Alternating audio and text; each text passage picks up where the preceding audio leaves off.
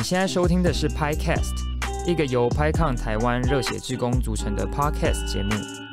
在这个节目里面，我们将会邀请到 PiCon 的创始元老来讲股，或是邀请志工讲者来这边跟我们分享学习或是工作中使用 Python 的有趣故事。欢迎大家跟我们一起拍起来！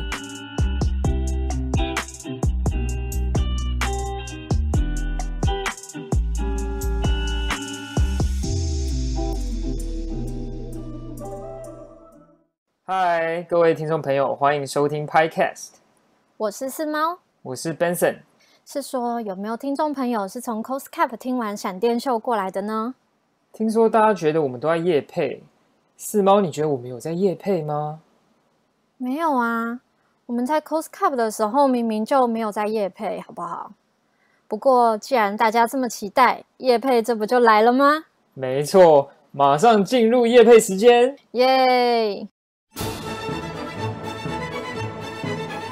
！iChef 是一间智慧餐饮科技公司，也是台湾 POS 系统的领导品牌，提供简单又有弹性的 POS 系统平台以及餐厅销售状况的服务，让小餐厅不用花大钱，也能活用科技的力量，最佳化营运效能。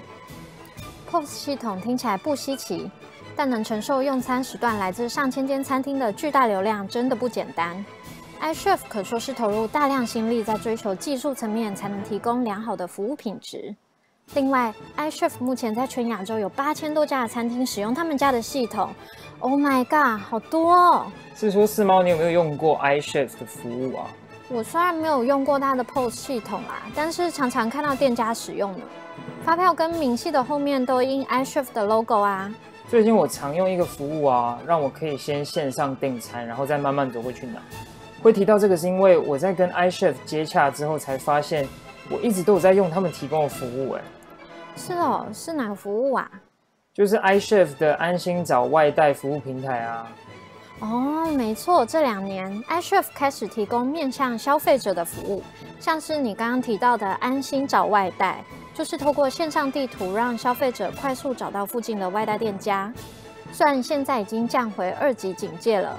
还是推荐大家多多使用外带服务，降低人与人的连结。最后，厂商提及他们九月份要招募一个全新的团队，包含 Back End、Front End、Quality Insurance，还有 PM。其中 Back End 的部分也需要 Python 技能哦。Python 社群的各路高手也可以到 iChef 官网关注职缺资讯。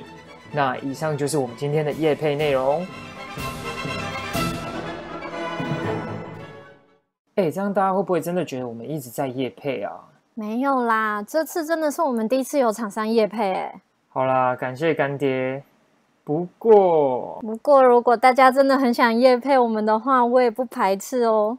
好啦，回到正题。上次跟坤玉、俊伟聊到他们踏入治安领域的经验，还有他们在 Python 社群还有开源专案的贡献经历。还没有听的朋友，赶快先去听上一集。接下来我们会跟他们聊聊 Quark Engine 这个专案是在做什么的，还有它的起源。另外还有更多关于治安工程师的工作内容哦。废话不多说，我们赶快听下去。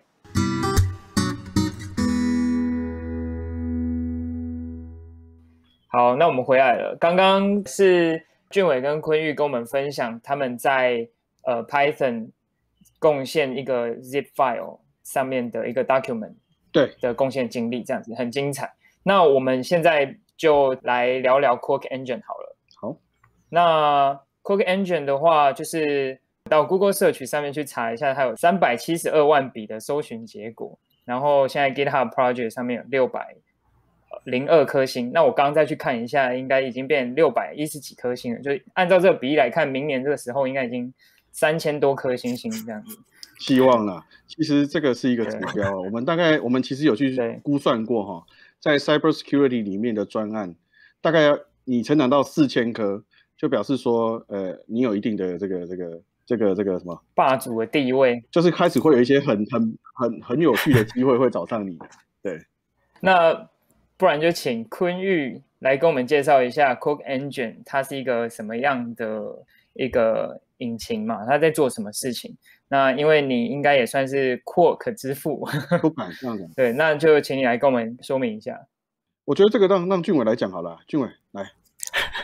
OK，好，呃，这个夸克哈，其实你可以，我这边用一个比较简单的比喻，就是说你可以把它想象成它是一个这个恶意城市分析师的 Google Map，就是说，当你今天如果你想要去分析 Android 的恶意城市，它会有什么样的这些潜藏恶意行为的时候，你就可以利用夸克来帮你做到这些精准定位，它可能是这个恶意行为，它到底具体出现在城市码的哪一行。对，那这个其实就是一个比较简单的比喻来呃描述夸克。对，那呃其实还有比较相相当细节的这些设计原理，其实可以让坤玉来这边跟我们分享。好啦，没问题啦。其实哈，夸克你可以这样子想，它其实就是一个防毒软体。那防毒软体呢，一般我们可以用两个部分来定义它，一个就是侦测，侦测恶意程式或恶意行为。那侦测到了以后，就是另外一个部分，你要把它删掉。好，夸克引擎现在所 focused 就是在侦测这个地方。那其实呢，我们我们现在的这个这个 target 这个 user 啊，不是一般的 end user 哦，不是说我们今天就放到什么 Google Play 去，然后大家下载下来就可以就可以做一些侦测，不是的。我们的 target user 呢是这个恶意程式分析师，然后我们的目的呢。是希望用文字的方式、语义的方式，让使用让让这个恶意程式分析师啊，可以很快的就了解这个 Android 的，比如说这个 binary 或这个呃 malware，它到底做了什么事情。然后呢，所以我们今年我们去年的投稿的话，呃，我们的这个这个题目就是说夸克 engine and obfuscation neglect scoring malware scoring system，也就是说，其实我们去年 focus 在说。我们是创造出一个评分系统，威胁评分系统，但是今年我们就完全换掉了。我们今年叫做 The Storyteller of Android Malware，也就是说，今天如果你今天拿到一只恶意程式，长官要你去处理，你只要拿下来丢到夸克引擎里面去，我们就会跑出很多文字，就是一段一段告诉你他具体干了什么事情，然后我们还会搭配一些一些图图图片，很有趣的图片。然后呢，你就可以很快速的讲出一个漂亮的故事，跟长官汇报了。那我这边想问一下，所以 Quark Engine 就是一个我可以把我的可能含有恶意程式的的封包丢到这个引擎里面去，然后他会跟我说这里面含有什么样的，侦测出什么样子的攻击，然后给他一个评分，跑出一份报告这样子。哦，不是封包，是 APK。Android 的这个应用，Android 的 APK 封包的部分，我觉得 Benson 感觉很有兴趣，我们可以之后邀请你进来 贡献一下广告引擎专案啦！啊，不要躲啊啊！对，好，刚刚四猫好像有话，对对，好像我不敢说。好，刚刚四猫好像有话要问，是哦，对我我刚才听到那个评分的部分，就是我之前去看这个。GitHub page 的时候有看到说，从台湾的法律角度进行恶意传软体的评分，我其实还蛮好奇，说这个标准是怎么定的？就是你们是有找法律专家来给建议吗？还是怎么样的运作？其实呢，我们一开始哈，这个前面有一些小故事要先要先讲一下，也就是说，我们一开始要去做这颗引擎的时候啊，我们其实也是在想说，哎，那我们是不是看一下？这个学术的这些文献上面，人家都怎么做侦测的啦？好，或者是说，我们去看一下一些其他防毒软体的产品，你们是怎么弄的啦？结果呢，我们后来做了一些呃也文献探讨之后啊，我们发现，哎，他们都写的好复杂哦，我我头头壳笨笨的哈，我我没有办法读这些。然后啊，我后来就想说，那我们去看一下其他大厂人家怎么做。结果呢？我们看了之后，当然是当然是看不出来嘛，因为这是人家的商业机密啊。因为我刚好二零一八年的时候，我有机会去以色列，然后我有去参访一家治安大厂威瑞特，然后呢，他们就介绍到说，他们某一个产品里面有一个东西评分系统，然后我只是想说，我就就就顺口问他一下嘛，我也不期待他会有什么回应。我说，那你可不可以跟我讲一下这个你们的评分系统的一些状况啊？说不行，这个就是我们的商业机密。所以我后来就想说，哦，那这个东西是商业机密，那我们该怎么办？那就秉持着我刚刚说的，我们的个性就是我们都不放弃嘛，所以回来就一直想。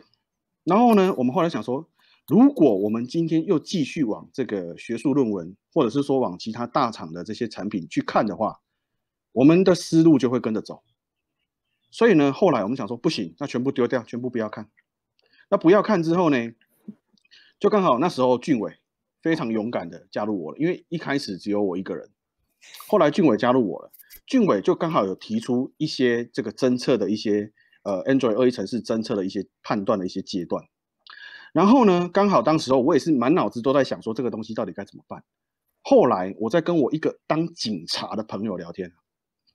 这个当警察的朋友就跟我说：“哎，你们这个这个阶段哈，刚好好像在刑事诉讼法里面啊，这个这个有一个章节在讲犯罪行为阶段论。哎，哎，我就突然想到说，哇，哎，对耶，那如果我们把犯罪刑事诉讼法里面的各个的基本的概念，把它原则把它解构出来，然后 apply 到这个 Android 的 malware 的这个这个评分系统上呢？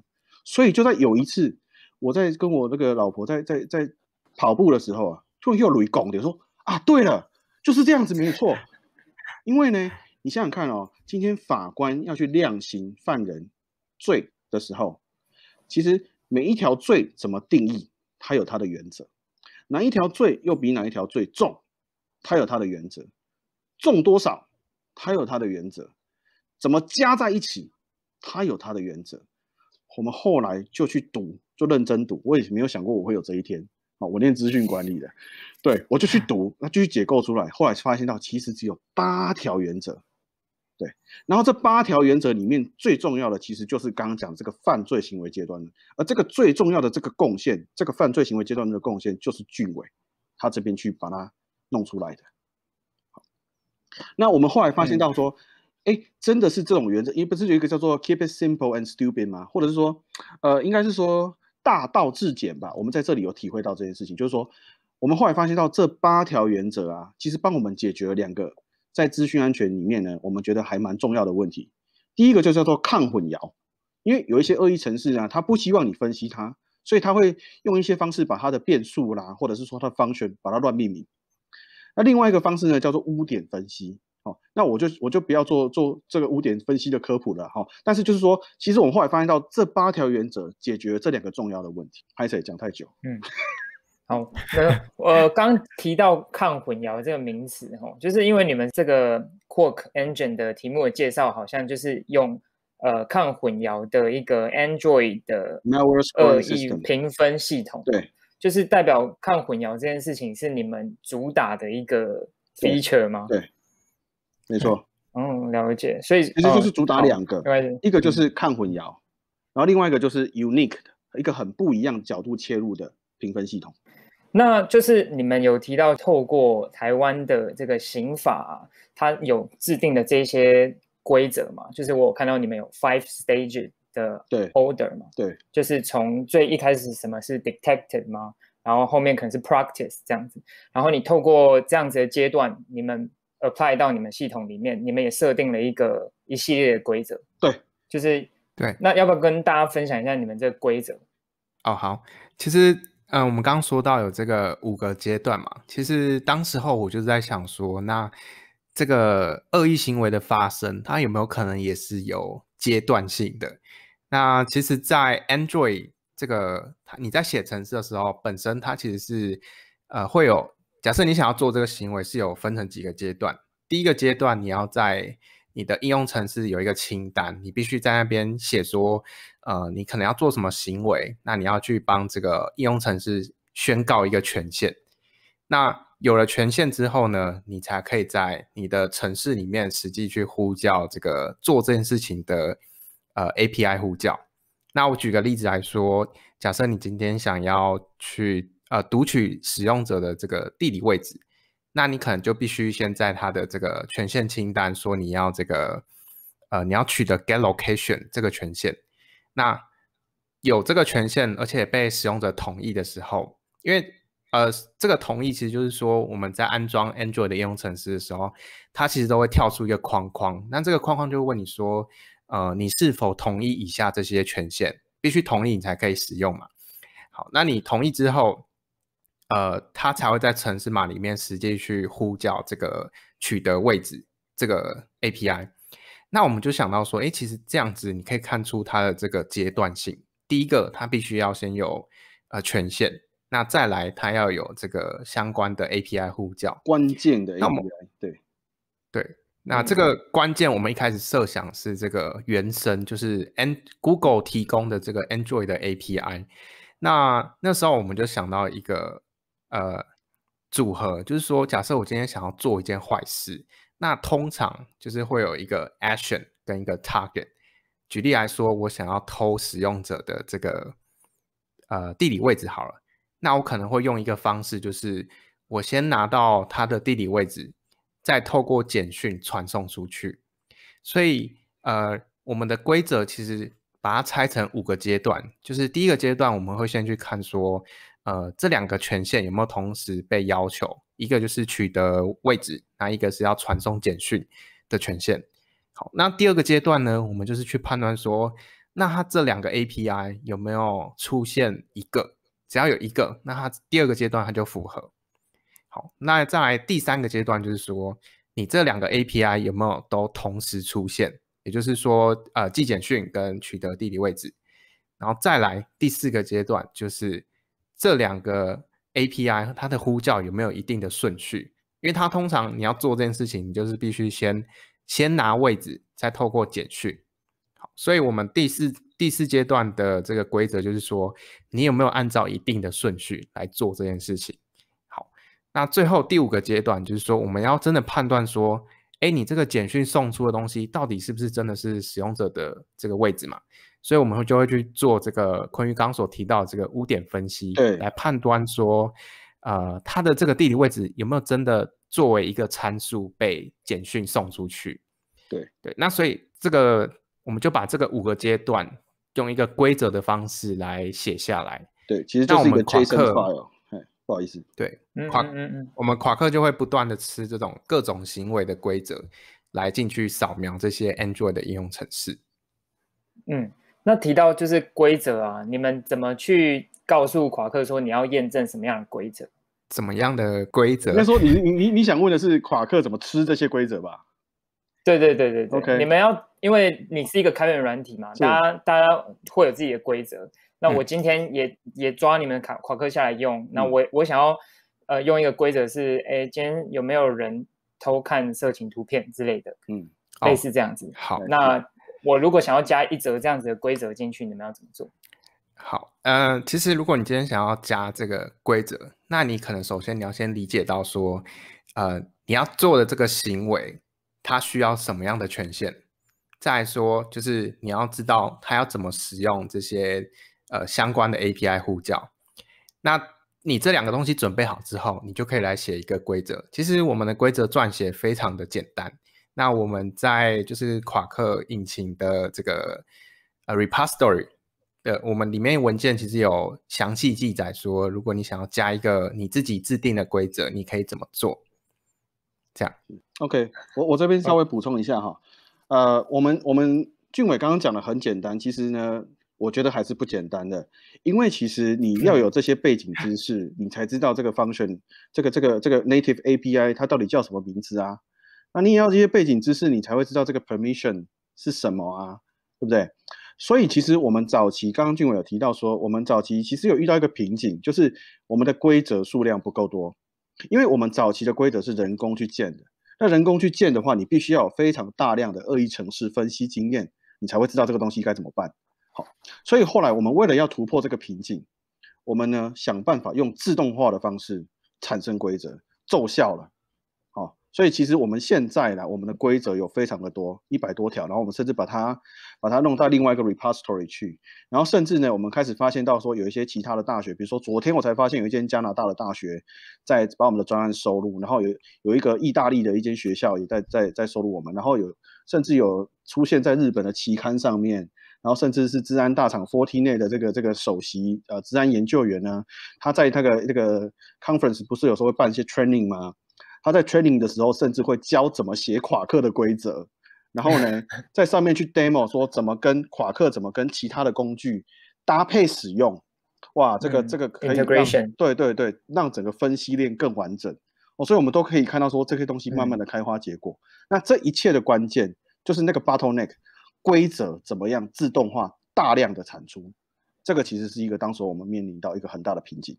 那这边我刚才就想到说，哎，有这么多国外的使用者，就是也用夸克，但是一开始你们是从台湾的法律就是的大原则去出发，那别国的使用者就是会不会遇到就是法律不同或者是规则不同，然后使用上有没有什么障碍？啊，OK，这这这题哈，其实不会，因为其实我们我们的规则的原则。其实我们是萃取，我们不是字完全照法面法律的字面的意义来做的。我们其实哈犯罪行为阶段论就是它的一个中心的一个原则，就是你越到后面的阶段，你这条罪，你比如说杀人罪好了，你越到后面的阶段，你这条罪成立的这个这个这个几率就越高。好，所以我们就把这个原则萃取出来，也就是说，刚刚俊伟讲的一到五阶段。你做到越后面的阶段，我们就会说，哎，那这个偷用简讯偷送你地理位置的这个行为发生的几率非常高了。所以，如果以这个逻辑来了解的话，其实不管你是哪个国家都没有关系的。嗯，那刚刚就是有提到说，Cook Engine 的主要受用的人嘛，是这些恶意城市分析师。那他们在透过扩可这样一系列的去判定说你有这样恶意行为之后，你们怎么去告诉他说这个东西它危险的层级是怎么样子？就是你们怎么去制定你们这些呃风险的分数啊？可以跟我们说明一下吗？OK，这个风险的分数其实呢，到现在你问到了一个非常大的重点，到这个到现在呢，我们也还在解决这个问题。为什么呢？因为规则的数量要到一定的程度，你才有办法去制定这些权重。那我们现在呢？我们人手不够，所以我们向世界去借力。我们现在都不断在收规则，但是你会说，哎，那这个规则会不会无限制的膨胀？你觉得会吗？嗯，应该会吧，因为攻击也是成，就是一直不断的演变出新的方式。是，但我觉得不会。那为什么不会呢？因为我后来发现，其实很多的新的恶意程式，它其实是旧的攻击的手法排列组合。所以呢，纵使会有新的攻击的手法，会有完完全全新的方式，它我我说它出现的这个速度，跟我们自己人工去发现，我觉得目前我们都还 hold 得住。也就是说，我觉得它是呃这个规则发展的这个这个趋势啊，我觉得是属于收敛的一种状态。也就是说，其实我们后来只要发现，呃，大概是哪一些哪一些，我们比如说我们大概发展到两百条规则，其实我觉得就差不多了。好，那这个时候我们达到这个里程碑的时候，我们就会回过头来认真的去定里面的权重分数了。我们现在权重分数基本上都是都是直接给一。好，我们其实也等于把这一个自由度，或是这个创意的发想。让所有的夸克的使用者自己去玩，对，所以如果说你现在使用夸克引擎的话，它上面如果告诉你低中高风险，那个这真的只是仅供参考。但是我们上面如果告诉你说它有哪些行为，那就是真的。对，嗯嗯嗯，所以说就是对于这样使用者来说，他们可以自己去制定他们要给不同的规则上面定什么样的权重跟分数，这样子。对，是了解，嗯。那刚刚也有提到说，你们在收集规则上面，呃，借很多国际上面的人来帮助你们收集。那就是也想了解一下你们这个专案啊，从听说原本只是一个 side project，然后现在发展成这样子一国际知名的一个开源软体想跟你们就是问一下你们这个专案的起源，就是为什么最初会想要做这个，然后会把它开源出来？嗯嗯嗯，好，那。其实这个一开始应该不是一个 side project 啦，它是它的起源是这样子的哈，就是我二零一七年，我当时候在台北工作，那我想回南部，那我回来之后呢，我我上我上一份工作是在法人资策会嘛，那现在这份工作在电信技术中心也是法人，那都是做治安，所以我当时候就想说，那我是不是来做做一些比较不一样的事情，让 TTC 这个做治安的法人可以跟其他的做治安的法人有一个很明显的差异。后来我就分析了一下，我想说，那我们就来做一个很 crazy 的，然后我觉得他们应该都不想做的事情。于是呢，我就想说，好，那我们就来干一颗防毒软体分析引擎，然后再把它放到 VirusTotal。然后当时候只有我一个人，够疯狂了。那重点是更更疯狂的是，这边的长官竟然同意了。啊，对，所以呢，后来我们就是一直不断的在往前推进。好，那往前推进的过程当中，当然也是经历过很多的失败，包含我 build team build 好几次失败了哈。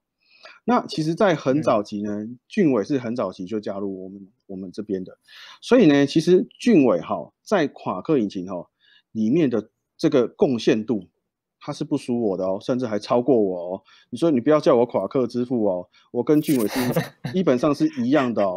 好。你们就是夸克 engine 的亚当夏娃。哎，那呃那，你不要这样，我们叫莱特兄弟好了，我不要亚当夏娃，这怪怪的。好了，现现在已经是可以有两个爸爸的时代了。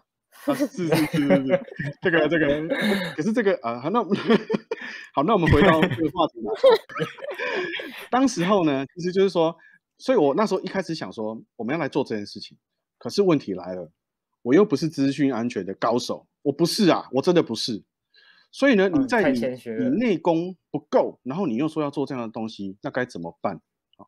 所以呢，其实当时我就想说，好，那至少我要先把这个你说要做恶意城市分析的引擎，那你至少里面的机制或者是判断的标准要先找出来吧。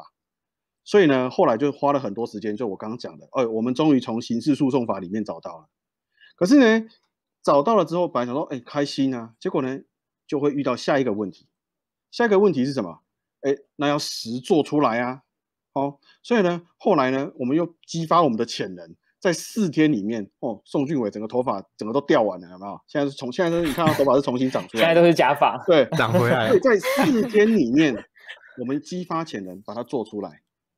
好，做出来之后，想说。哎，原本想说，哎，我以前可能一个连连连机制都没有的时候，我想说我能做出引擎，我应该很满意了吧？哎，结果没有。很多时候你就会发现到说，当你走到那一个程度的时候呢，你的欲望会无限膨胀。后来想说，哎，那如果是这样的话，那我们是不是应该要来投稿一下这个国际知名的这些治安研讨会啊？结果呢，就是刚刚讲的，其实前面都被拒，很难过，伤心，在躲在墙角偷哭。可是呢，后来运气好，哎，大家大家就是觉得。就是哎，好像还不错，创意还不错，所以就让我们上了。结果呢，上了之后还是有问题哦。什么问题？就是俊伟刚刚讲的。其实我们发现到整个引擎，大家是欣赏我们的点子，但是它使用程度不高。所以呢，我们后来就花了很多的力气去解决这个规则数量不够了。结果呢，规则数量这一点真的又让我们突破了。你以为从此以后王子与公主就过幸福又快乐的日子吗？没有。为什么？因为我们发现到说，其实使用者数量还是没有上去，所以后来呢，我们又在采取了一步更积极的作为，这个策略就叫做夸克 Everywhere。也就是说呢，我去寻找在整个 Open Source Cyber Security Open Source 的这个生态系里面的这个分析链，我们的上游跟我们的下游有哪一些专案，我们就去主动去发 Pull Request 给他。我们借由跟别人的结合来增加我们的曝光度，这个策略奏效。对，所以今年呢，我们确实得到了很多不一样的 feedback，很开心。但是呢，又有新的问题哦。比如说，我们后来发现到，我们使使用者有一定一些些了，然后呢，大家也都知道了。但是问题在什么？其实一个开源专案最重要、最重要的、最核心的，其实是你要有 community。我们没有，所以这个就是我们现在最大的问题了。我们要去 build community，说要 build 出一个呃 Quark Engine 的一个 ecosystem 这样子吗？应该就是说你背后要有整个社群啊，比如说你要很至少要有四五十个人啊，然后大家都是很 active 的在在贡献啊，然后有分组啊，对呀。听起来是一个就是非常有非常大野心的一个计划。对。那我们的第一步呢，就是 Benson 要说服 Benson 来加入我们啊！乱讲，不要有压力哦，乱讲的。我我可以帮你们讲拍 Podcast。来来来，那我也想了解一下，就是因为你你们现在是在电信技术公司，做这个 Quark Engine 的 project 嘛，嗯，就是这个 project，但是它有同时是一个 open source 的 project。那公司就是它有帮你们带来一些收益吗？不然公司怎么会呃支持你们，让你们在可能上班的时候，就是以这个东西作为呃上班的一个是就是绩效考核的项目这样子？其实我觉得这里的收益，当然如果单纯只有讲钱的部分，是到目前是还没有。但是如果你把这个收益的这个定义拉大一点，其实我觉得我们是获得非常多的收益，包括今天来这边跟大家拍抗 podcast 分享，也是一个很棒的收益。那我们也因为做了这个夸克，所以我们也认识到很多这个呃这些开各个开源专案的工具作者。那我们就是甚至说，就是还有前面我们所提到，也有一些。呃，研讨会的主办方他们会主动邀请我们去，呃，给他们分享，就是这个夸克。对，那所以我觉得就是一个 open source，其实你只要能够把它发展的这些，就是让有越来越多的使用者，你的 community community 有上来，那其实我觉得该来的都是啊，会自然而来。所以说，就是 Quark Engine 它算是你们在公司里面做的一个 project。对对，公司 support 我们的 project，对，哦，那这样也是感觉蛮特别的，就是因为公司一般来说感觉比较不会做这种 open source 的，没错，尤其又在法人哦，对，嗯嗯嗯，听起来真的是蛮特别。嗯，那我们再聊聊就是治安领域的这个发展好了。嗯，台湾可能看一下新闻，就是常常说治安领域很缺人才啊，怎么样的？那想要问你们，就是在你们这样子的行业里面就职的人员，大部分都是什么样的背景？就是他们都是资讯背景吗？然后有没有人是非本科，然后转进你们这样子去从事治安行业的人？那可以可不可以跟我们分享一下？呃，我其实觉得说，不管是做哪一个领域，呃，我们觉得其实我们对我们来说，我觉得就是你的这个头脑清楚，然后呢，你是一个很有 guts 的人。那我觉得这样的人就是呃一个人才。那你说就是是不是都是自工自管？呃，以我认识的来说，就是普遍都是就是这两个这个两个背景的。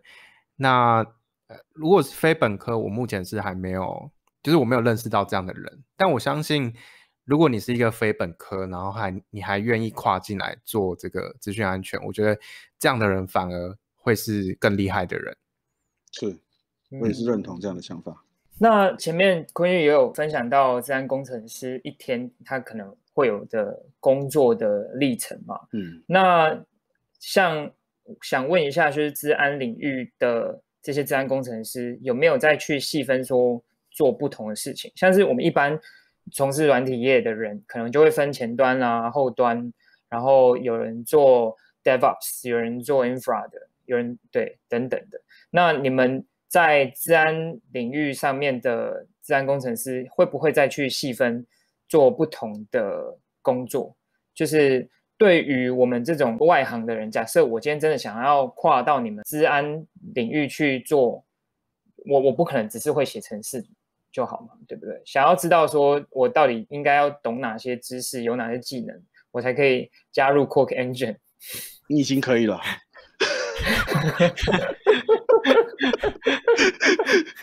我等下履历就直接寄过去，不用寄，不用寄，我都知道，我有你的脸书，等下直接聊。来，好，那可以跟我们分享一下吗？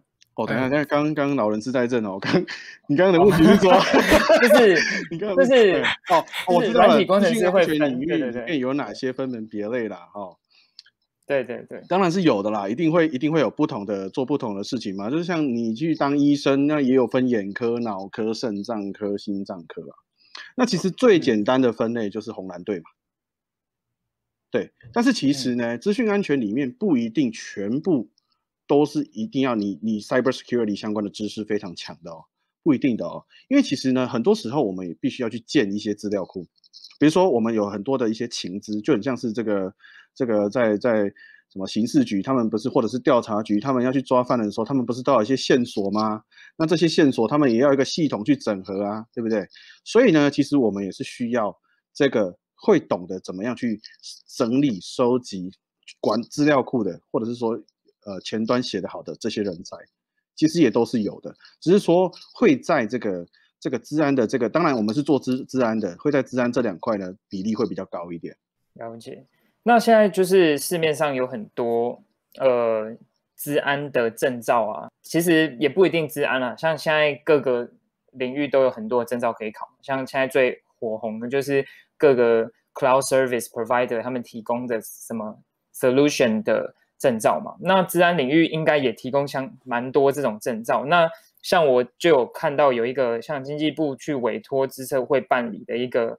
呃，治安工程师能力鉴定这样子，然后会透过呃去评断他的治安管理概论的可能知识吧，然后还有技术概论这两部分去做评测，然后就通过人会拿到一个初级资讯安全工程师的证照。嗯那对于坤玉在你们公司应该已经算是一个管理阶级的角色。嗯，对。就是你会去，应该会去面试一些工程师嘛，新进的工程师。那你觉得有拿到这样证照的工程师，对你来说是一个可评断的标准吗？其实说来惭愧哈，呃，我自己一张证照都没有。对，那 为什么会一张证照都没有的原因，是因为呃，我其实有去想过这件事情，就是说，其实如果我们来看呃人数比例好了，今天呢有证照的。这个人啊，这一群人的比例，哈，占全部治安产业里面的人的比例，或者是说另外一群人，比如说这一群人是有，呃，算是一个还还算有一点小小小小名气的一个开源专案，cyber security 的开源专案的话，我相信后者的比例应该是比较小的。那如果说你用稀缺性来看的话，哎，我是往选择后者这一条路的。这也是为什么我到现在没有花心力在在开源在在证照上。那你说今天如果我们要找人的话，那我们看的是什么东西？其实呢，俊伟刚刚讲完了，就两件事情。第一个，你头脑清不清楚？第二个，有没有 guts？因为我们疯，我们就是疯了嘛，对吧？没有当初只有一个人，那甚至是俊伟，甚至是只有，甚至是俊伟加进来之后两个人。啊，说要干一颗引擎，然后要丢上 VirusTotal 去，然后要去赌核心开发者，然后然后要去要去去处理这么多其他的事情。我觉得很多时候大家可能光是一想到那个开头就停止了。对，所以呢，我最重视的就是我刚刚讲的那两件，这两个东西。那我想要再延伸问一下，就是因为像你们都是 Python 的贡献者，那。可是我相信，就是做治安的研究，就是除了 Python 之外，应该还有用到其他的一些工具。那这些其他的部分，你们也会重视吗？或者有没有说觉得，哎，如果会什么，就是要跨进来治安比较容易之类的，可以跟我们听众朋友分享。好，其实如果真的想要跨进来治安这个领域，那我会蛮建议，就是你可以去。多看多参加这个治安相关的这些社群或者是比赛，这个我觉得会比只有证照来的就是更有说服力。那其实，在网络上也有非常多就是呃治安相关的演讲，那你也可以都就是因为都是免费的，所以你也可以都找来就是自己研究，然后看看你哪方面比较有兴趣。那你也可以把这些就是你一路学习的过程都记录下来，我相信是一个。呃，非常棒的经验。那你说，就是有没有需要会呃其他的工具或者是程式？当然也是有，就是啊，以我们来说，我们可能会需要去对这个程式去做逆向分析。所以在做逆向分析的时候，其实我们除了 Python 以外，我们可能还要懂一些怎么做操作这些逆向工程的工具。那有时候我们还要去阅读这个组合语言的部分。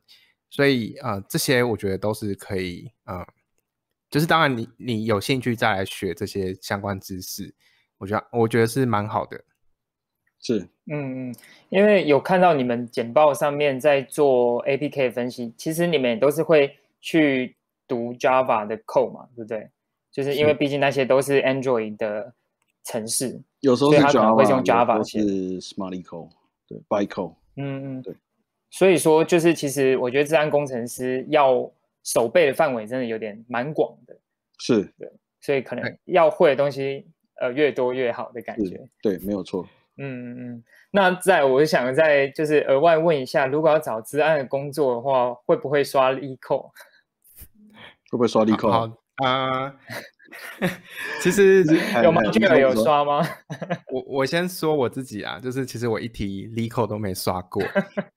对，因为其实呃，要不要刷力扣这件事情，应该是先看说呃，你想要去什么样的公司，因为我相信还是有。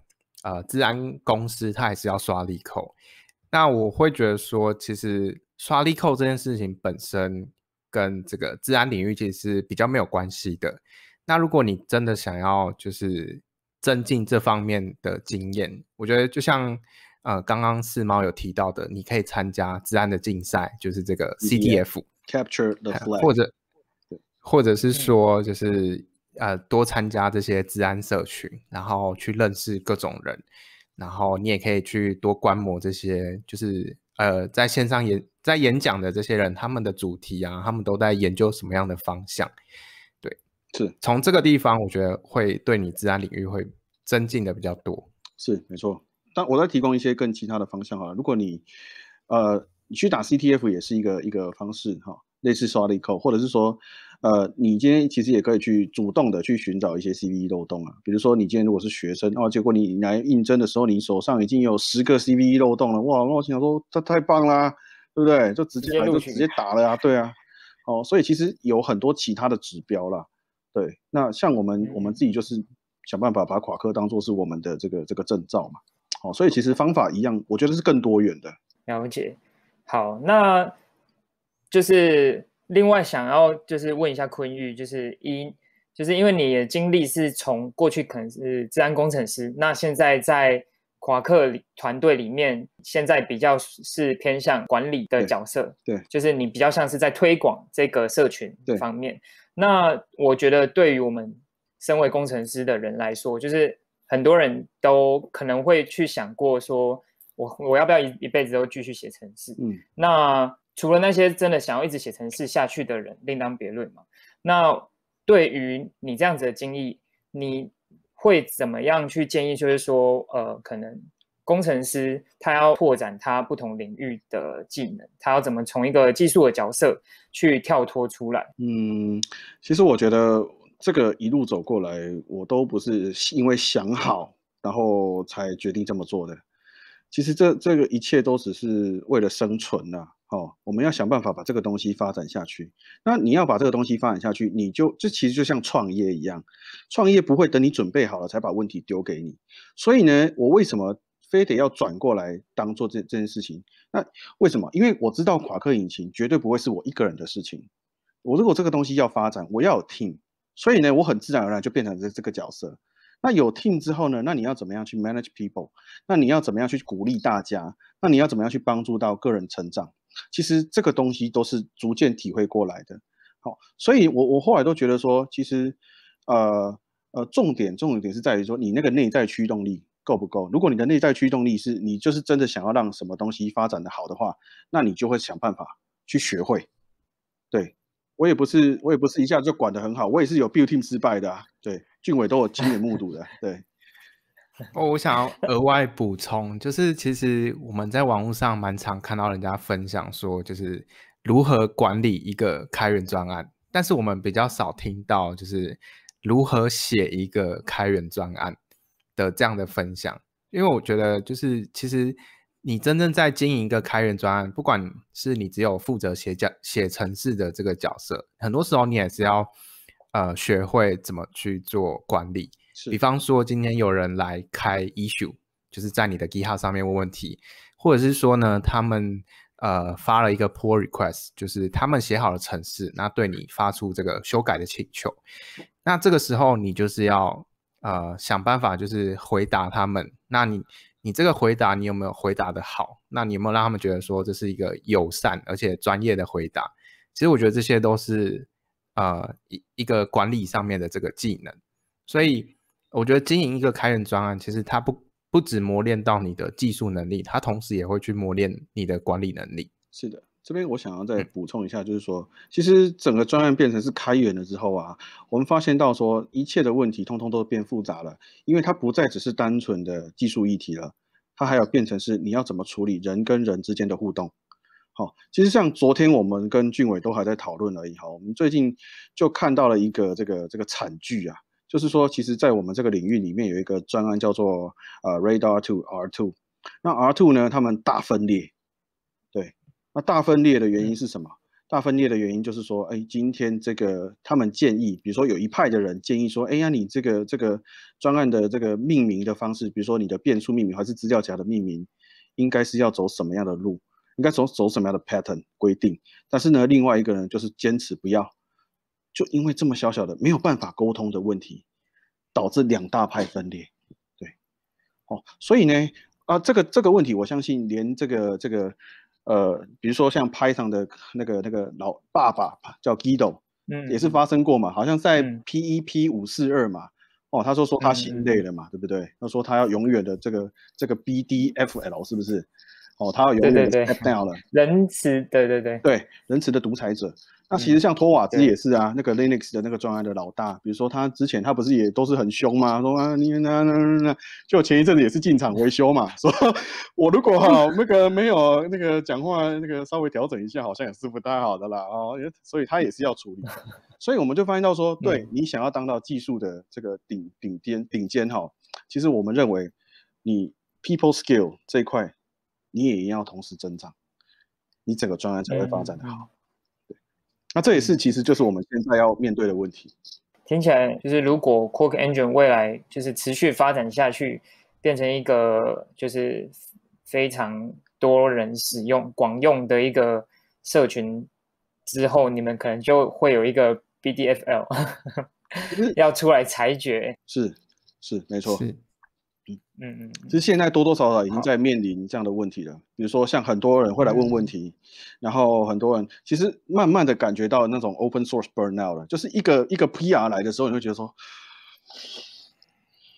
哎，然后才开始 冷静一下这样子。对 对对，嗯。难怪我听到听过一些工程师朋友说，他们不想当管理职，因为。一直跟人沟通，其实是一件很耗费精神的事情，会非常的这个这个，你的就是你的精精力会被烧脑。对，其实我上个礼拜，其实这周我礼拜一个礼拜二才刚 burn out 完毕而已，然后礼拜四嘛，礼拜四还礼拜三换俊伟 burn out，对，适度的休息一下。是啊，对。那那我想问一下，就是那你们在做这样子，因为坤玉可能现在已经比较不不再做 develop。的事情工作吗？那这样子你会不会就是有时候会手痒啊？还是会就是想要回来作为比较技术面的？当然会啊，当然会，当然会。可是你要想，嗯嗯其实技术这一块，俊伟他目前处理的非常好，而且他其实底下也现在有带人来做。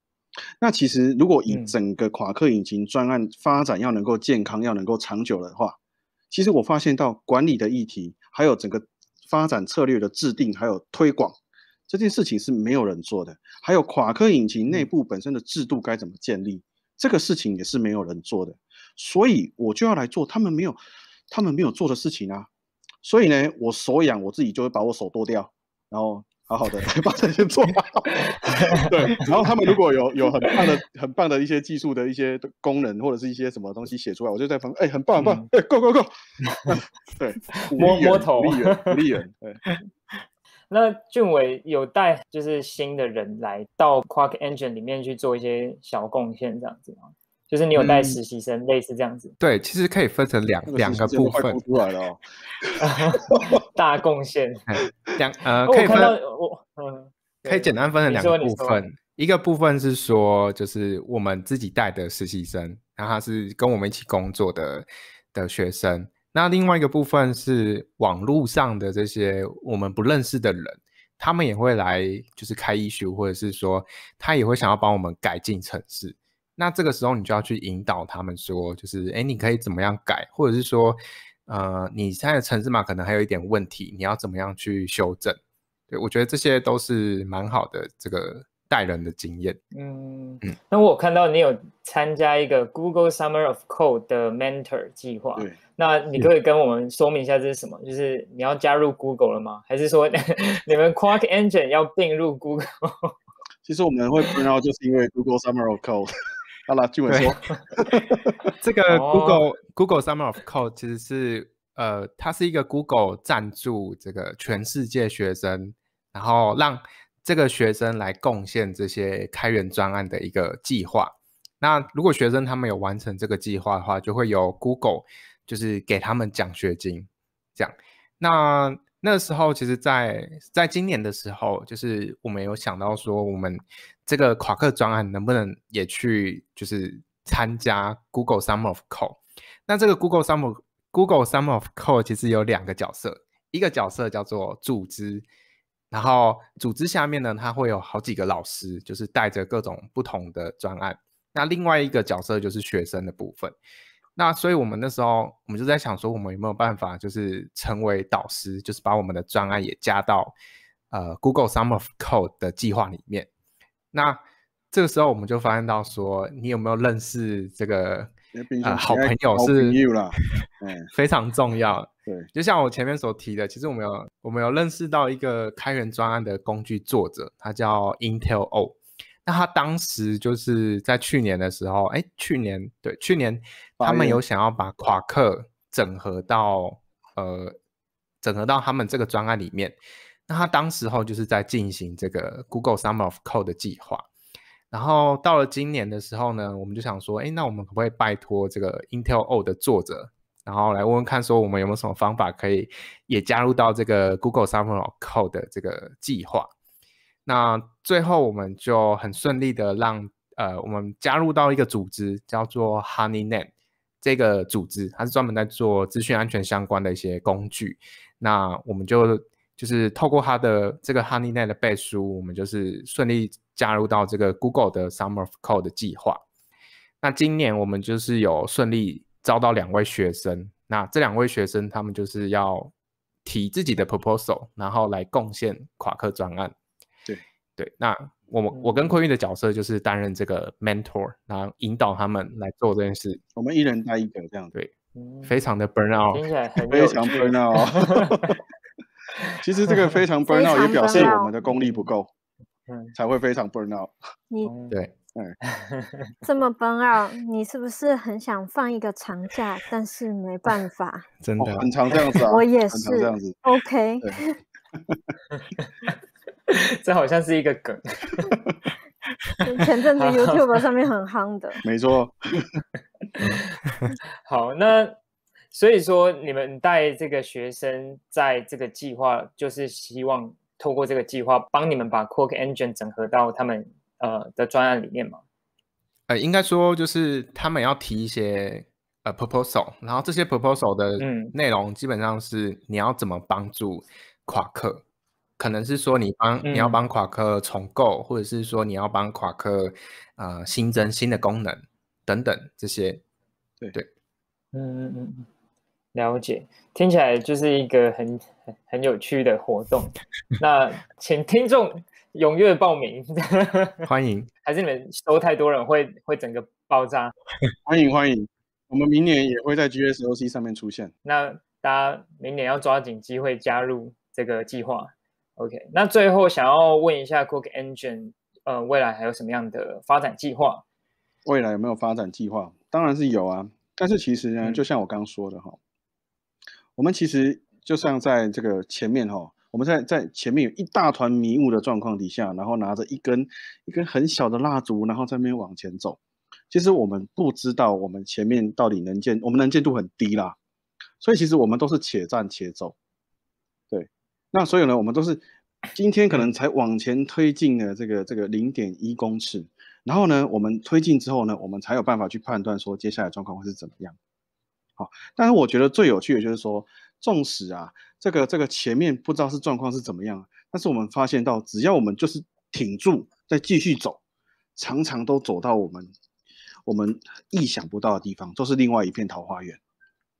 对，所以你说前面现在我到底有没有设定什么？有，其实有，还是有。比如说我要把 community 真正把它 build 起来，但是你说 community 要怎么 build，然后什么方法下去一定会成功？I don't know, I can I cannot tell。对，那我就必须要蜡烛再继续拿着，然后再继续往前走，看前面这边有没有路。这是我的我要努力的部分啊。俊伟应该也有他自己设定的一个目标，有吗？俊伟有这样的目标吗？先找到一个女朋友。就是 我想这边帮俊伟朋友。我想补充一个啊，就是其实我们当初都会给自己设定一个很困难的目标，然后在这过程中就是想尽办法去达成。那可能过程中你会遇到各式各样就是不同的问题，然后你可能当下也不知道怎么解决。其实我们呃在在做夸克的时候，我们都会给自己设一些就是当下会觉得很很不可能的目标。对。然后在这个做的过程中，其实会遇到很多问题，然后你也要同时就是解决各式各样的问题。那这个过程，我觉得都是会处于一种且战且走的的过程，就是你可能当下你也不知道怎么解决，那你就是想办法去解决。那我觉得我我自己有呃一直很记得一句话，然后我也可以分享给大家，就是呃不要去担心你的这个目标有多么的困难。你只要专注在你的下一步该做什么就可以。那个俊伟星海罗盘时间到了 感谢俊伟跟我们分享这个心法，这是真的哦，俊伟法师，真的俊伟法师，阿弥陀佛。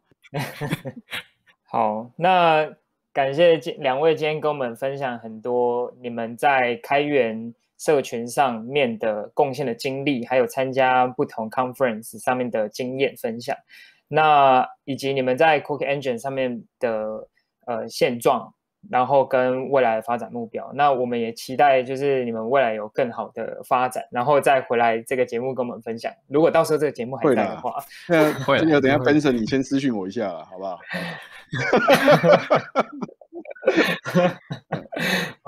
怕。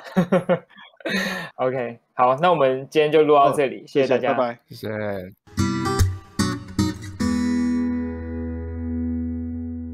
我觉得今天内容真的是非常的精彩诶，就是每个小帕感觉都可以延伸，就是再多聊两个小时都没有问题。我自己觉得，就是开源专案的那一部分让我印象还蛮深刻的，是因为可能很多人都有发过 PR 的经验，然后 PR 被收进。被收进某个开源专案，贡献了城市码，可是不一定自己有 own 过一个 open source 的 project。然后在这里面，就是你要跟不同的贡献者、开发者，就是怎么样的往来沟通，然后跟不同国家的贡献者，就是去管理这样子的一个国际型的 open source 专案。我觉得这算是蛮特别的经验。嗯，感觉跟一般来说在 GitHub 的随便一个专案上面去发 PR 的感受会差很多，因为他们毕竟是慢慢的有建立起他们自己一个社群的感觉。然后另外就是他们也有分享到他们在 Python 开源专案跟 C Python 开源专案上面去做贡献的经历，就是他们在跟 Core Developer 书信往来啊，我觉得这样的经历就是蛮难能可贵，就是所有的开发者还有 Python 使用者。都真的都可以好好的来参考一下。那对我自己而言，我也觉得收获很多。那最后我们要跟大家 update 一下大会的最新资讯。因为疫情的关系，我们现在已经确定就是转为全线上举行。那日期会改到十月的二号跟三号，所有的资讯都会公布在粉砖还有官网，就是大家要密切注意。